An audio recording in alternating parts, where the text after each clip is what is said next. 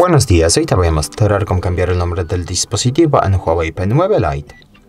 Para eso abrimos la aplicación Ajustes y aquí más abajo abrimos la pestaña Sistema, es la última.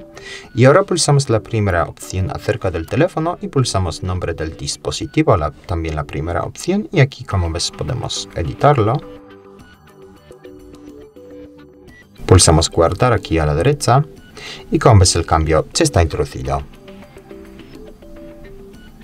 Muchas gracias por ver el vídeo, te invito a comentar abajo y suscribirte al canal. Hasta luego.